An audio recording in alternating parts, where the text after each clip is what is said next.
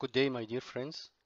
Today, our appointment with the episode 12 from MRI Learning. I'm Dr. Usam Ibrahim from Easy and Different Radiology. I will talk up today about the pelvic organ prolapse uh, through the pelvic floor landmarks like H line, M line, uterine prolapse. I will talk about cystocele and rectocele also in uh, this presentation. Here in Easy and Different Radiology, I am talking about all things related to radiology diagnosis. So if this is something you are studying and looking to perfect, you have found the right channel. So let's get started my presentation today through MR defecation the proctography also.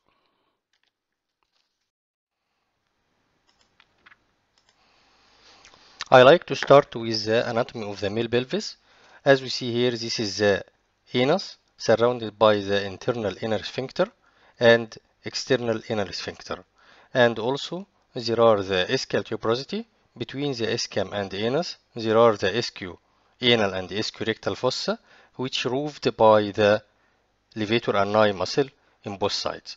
And the most posterior structure is the gluteus maximus muscle and this is one is uh, representing ischial cavernosus muscle which connecting to the crura of the penis and this is the bulbus of the penis and so and also this is the bulbospongiosus muscle.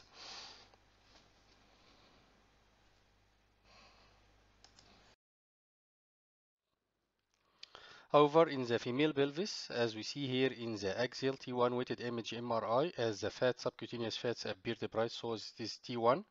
This is the anus surrounding by the sphincters, internal and external sphincter, and this is the levator ani muscle. Anterior to the anus, this is the perineal body and vagina, and also the most anterior structures just behind the symphysis pubis is the urethra and urethral sphincters can be seen, external urethral sphincters can be seen here in the 12. And this is the pubic bone and symphysis pubis is a ischial tuberosity appearing here and the muscle which is internal to it is the internal obturator muscle and it uh, rotates around the ischial tuberosity as we see here in the number 4 and the external muscle is the obturator externus muscle which is representing by the number 2 and the most superficial muscle is the pectineus muscle in the symphysis pubis region. And this is the region of the sciatic nerve and also the inferior gluteal vessel and maximus, gluteus maximus muscle, which appearing here, the most posterior structure, and the anterior lateral structure is the iliacus muscle. Uh, there are fat between the ischial and the rectum and the anus, so this fat is uh, considered the ischioanal or ischiorectal fat. And this is uh, representing numbers by the anatomical structure. Return again to the sagittal view of the male pelvis. This is the rectum and this is the anorectal junctions and anus, which is surrounding by the internal anal sphincters and external anal sphincter. And this is the levator ani muscle and also the urinary bladder, which is showing the prostate and the prostatic urethra passing through it, and the sphincter of the urethra, which appearing as uh, just uh, distal to the prostate and also uh, this is the symphysis pubis and this is the region of the coccyx.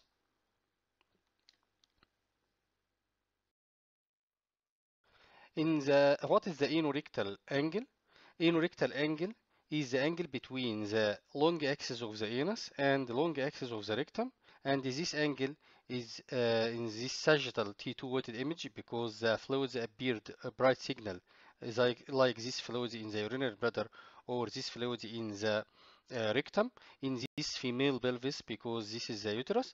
And uh, this angle which should be more than 100 it uh, be shorter or decreased about 15 to 20 degrees during squeezing. This is during rest and become more acute. However during defecations due to evacuations of content of the rectum it become more uh, obtuse angle and uh, increasing more about 15 or 20 degrees uh, from the rest status measurement. This anorectal angle can be also helping in diagnosing of some diseases in the rectal region.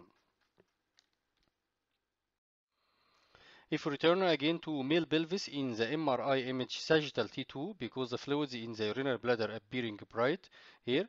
So this is the rectum and this is the anus and the anorectal junction and surrounding by their, its sphincter, internal and external anal sphincter. And this part is the levator ani muscle uh, distal, just distal to the urinary bladder and urinary bladder orifice, there are the prostate, and just distal to the prostate, there are the urethral external sphincter.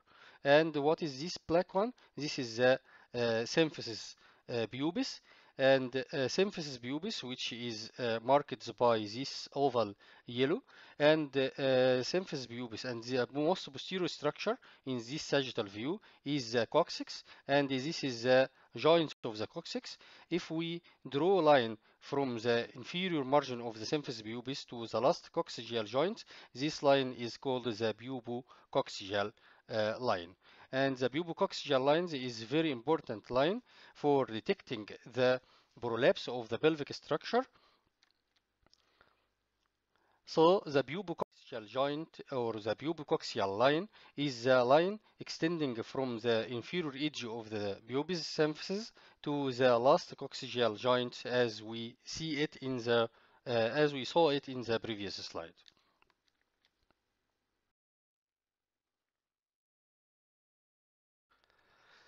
And now uh, this is a sagittal view for uh, male pelvis and sagittal T2 due to the contrast, due to the fluids appearing in the urinary bladders as a bright signal. And this is the orifice of the urethra, prostate, and the prostatic uh, urethral sphincter, which appearing just distal to the prostate. And this black one is the symphysis pubis, and this uh, most posterior structure is the coccyx. If we draw lines from the inferior edge of the pubis symphysis to the last coccygeal joint, this line is called the pubococcygeal lines or PCL. And if draw line, and this is the rectum, and this is the anus and the sphincter of the anus. This region is the anorectal junctions. If draw lines from the anorectal junction to the inferior edge of the symphysis pubis, this line is representing the uh, hiatus um, uh, measurement and uh, levator hiatus. And this is so it is called H lines H from hiatus. So these lines representing hiatal measurement anteroposterior diameter. And if draw another line perpendicular to the pubococcygeal line uh, from the posterior aspect of the uh, rectum at the level of the anorectal junctions this line is representing the descent of the levator and this line is called M line. So the red one is the PCL, yellow one is the H line, and the green one is the M line. And these lines can help us in the diagnosing of prolapse of the pelvic structures or the pelvic floor uh, uh, organs. I just want to say that the H line is the line which extending from the inferior border of the pubic symphysis to the posterior wall of the rectum as the anorectal uh, junction. And this line is representing the width of the levator uh, hiatus from the anteroposterior diameter. However, the M line is the line perpendicular to the line uh, from the uh, PCL to the H line and uh, this uh, line representing the levator hiatus descent when I measure it.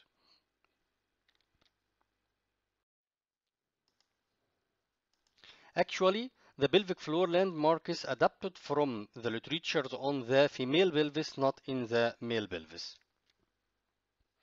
So this is the female pelvis in the sagittal T2 weighted imaging as this is the posterior coccyx and anterior symphysis pubis.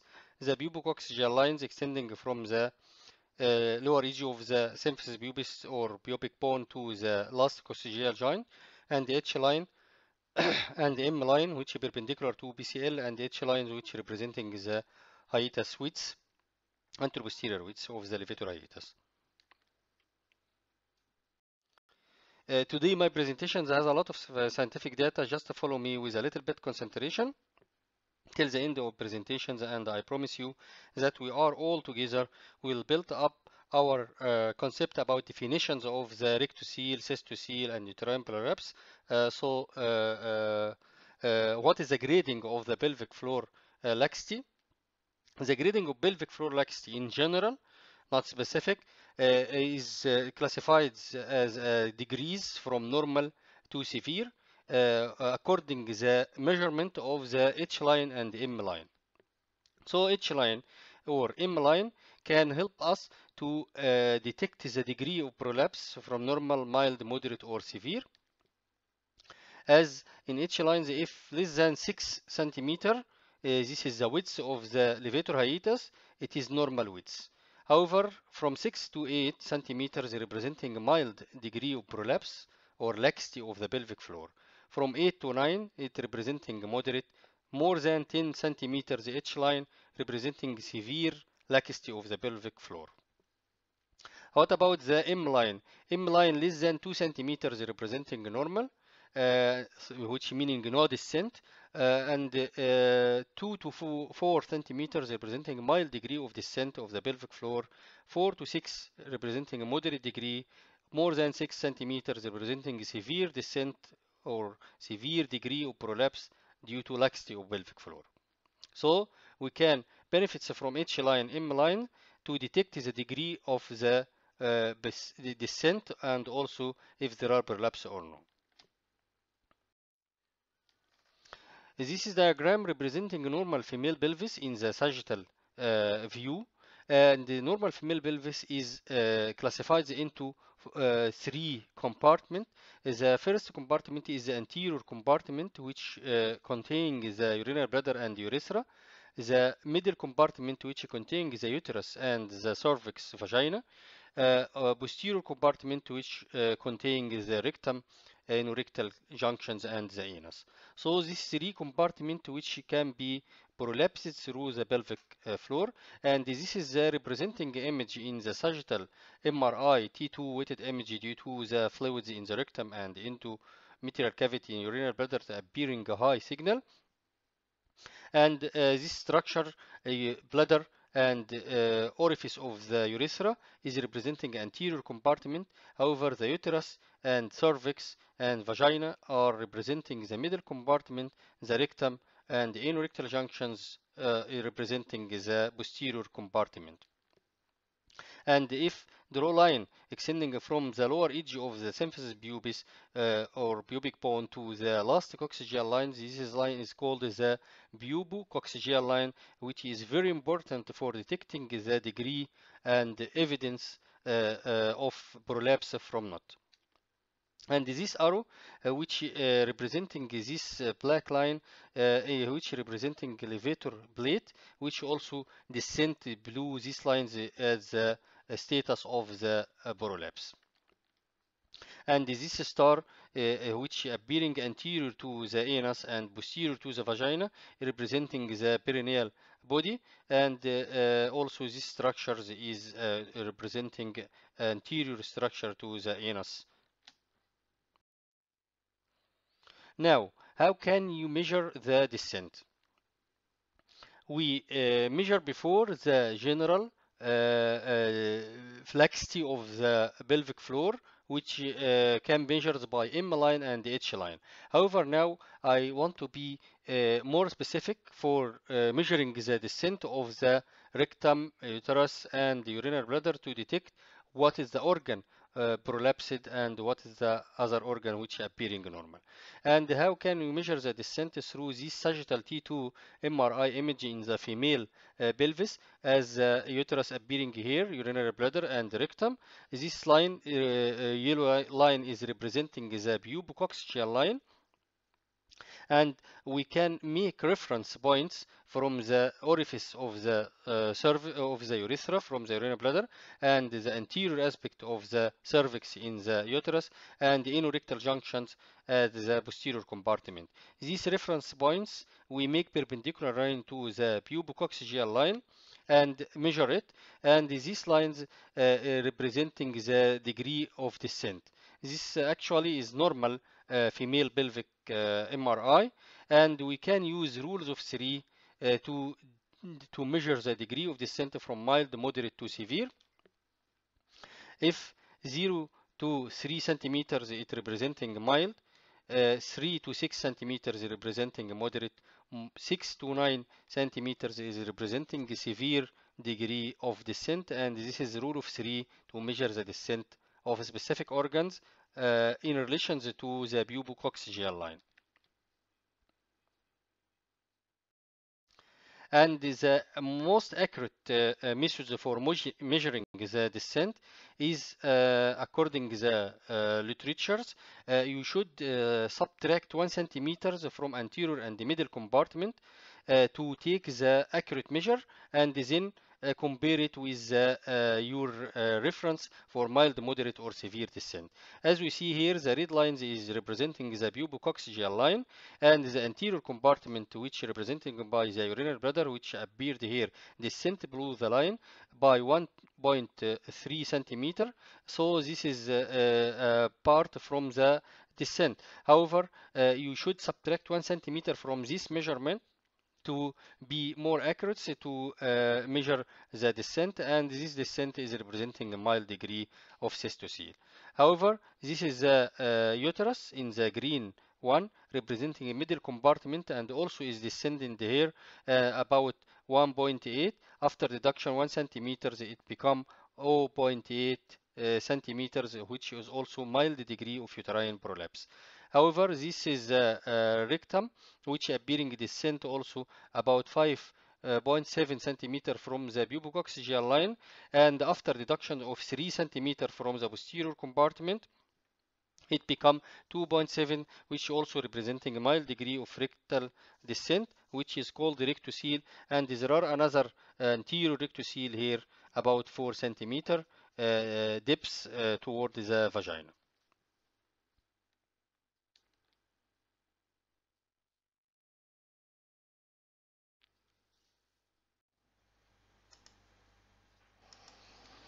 Uh, really, I consider this lesson is the most important one to understanding the pelvic floor uh, descent and I hope I don't waste your uh, time and provide you with a little bit uh, valuable information about this issue and now let's enjoy with radiology with three different cases about the pelvic organ prolapse.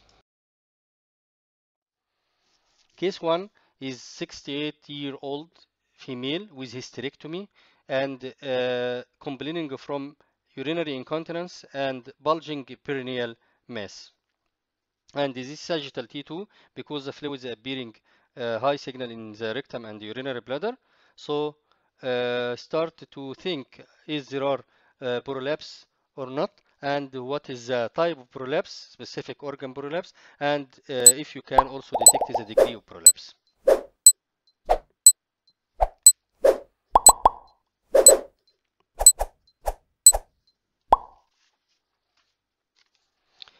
Uh, first, you should draw a line from the lower edge of the pubic symphysis to the last coccygeal, uh, coccygeal joint to uh, and called it a pubococcygeal line. And then make perpendicular lines from the uh, reference points as the anorectal junction in the posterior compartment and uh, urethral orifice in the anterior compartment and the anterior aspect of the cervix in the middle compartment. However, this patient have a history of hysterectomy, so uh, we take we consider the apex of the vagina is the uh, point of the uh, land landmark or reference point uh, instead of the anterior cervix in this uh, situation. And uh, now, is there are any descent below these lines? Yes, there are descent in the anterior compartment, middle compartment, and lower compartment also, but the descent of the urinary bladder is appeared severe descent and also uh, this is the regions of the sphincter of the urethra which also angulating and maybe this is the cause of the urinary incontinence. And uh, also there are another descent large descent of the uh, rectum and this also descent uh, uh, with the urinary bladder descent causing this bulging uh, perineal mass. You can also draw a line anterior along the anterior aspect of the anorectal junctions and measure the bulging of the rectum anterior to these lines and consider it as anterior rectocele also. So this uh, case, there are prolapse of the pelvic uh, organs, three compartment uh, prolapse. Another case for 52-year-old woman complaining from bulging perineal mass, and this is sagittal T2 weighted image in this female pelvis because this is the uterus, this is the rectum.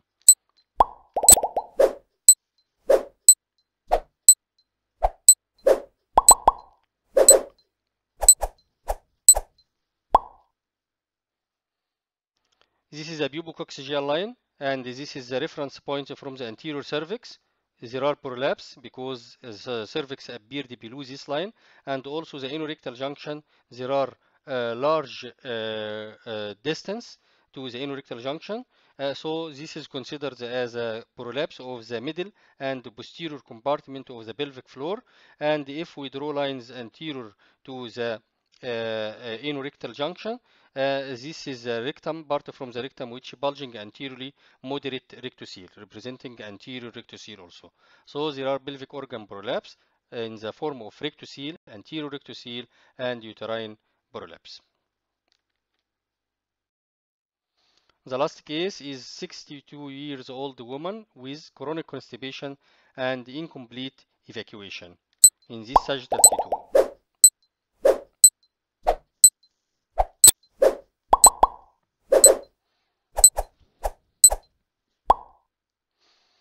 First step to detect if there are prolapse or not, you should draw line from the lower edge of the symphysis pubis to the last coccygeal line and this line is called the pubococcygeal line and then detect if there are prolapsed organs below this line. There are um, large descent of the rectum which is called severe uh, rectocele and also there are anterior uh, rectoceles anterior to the line of the anterior aspect of the anorectal junction and small cystocele also. However, there are no descent of the middle compartment. So diagnosis in these situations is the anterior and the posterior compartmental prolapse in the pelvic floor organ.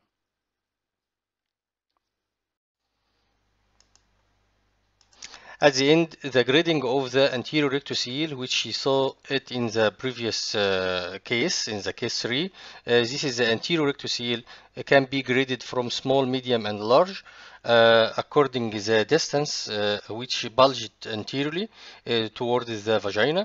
If this distance less than 2 centimeters, it considered small, 2 to 4 centimeters considered medium and more than 4 centimeter anterior bulge is considered a large anterior rectocele.